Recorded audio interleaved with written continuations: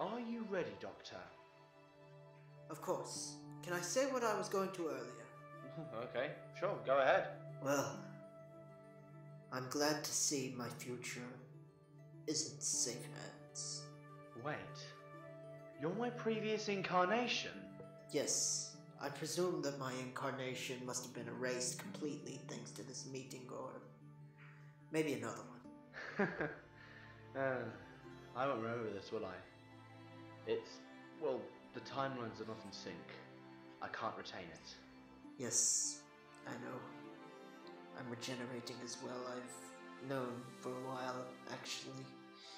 I never thought this would be the end of me. I can't, I don't want to go, to be honest. Well, we all need goodbyes in the end. I hope my doctor's remembered one day.